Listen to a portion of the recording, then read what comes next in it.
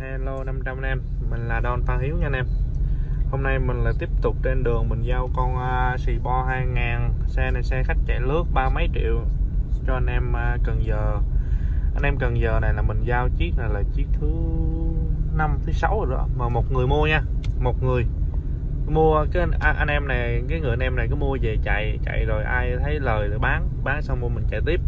Chạy xong rồi ai ai thích bán lời có lời là bán bán xong rồi mình chạy tiếp là ông khứa này, ông mua mình tổng cộng không chiếc này là chiếc thứ năm, thứ sáu rồi đó. Đây là mình đang trên đường đi qua phà vào cho em à, cần giờ nha em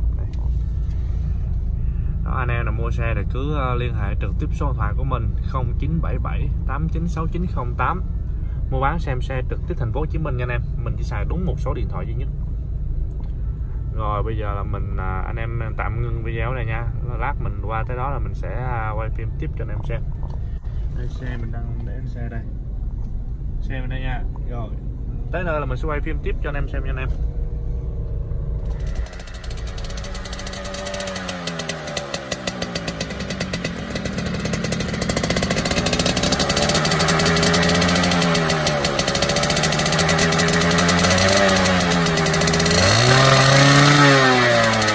vừa vừa anh này lúp anh này anh này anh này anh này vừa vừa phải là lúp á.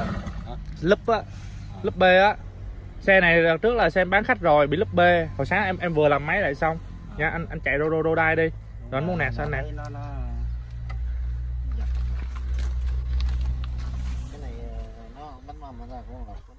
đúng rồi.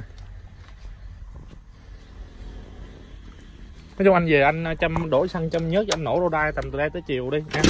Anh lấy cái quạt cho nó quạt quạt lên này đổ đây tới ờ, tới chiều đi.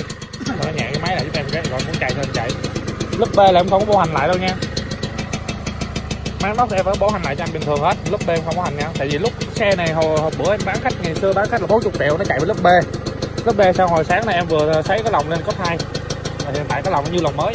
Anh về em chịu khó anh anh, anh rô đai từ đây tới chiều đi trong sang đổi nhớt vô.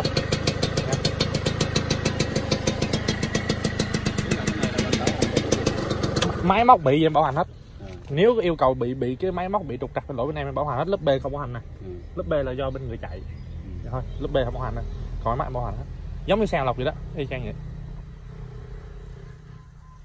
Cái xe lọc ngày xưa lúc mà em bán khách nó cũng chạy hai ngàn mấy cây mà lúc đó xe đó nó không lớp B xe đó nó chạy lâu rồi đâm ra cái máy nó bị nhão. Đâm ra bây giờ nó để dễ chạy luôn nó không có cần rudai vậy mà xe này sáng mới làm máy xong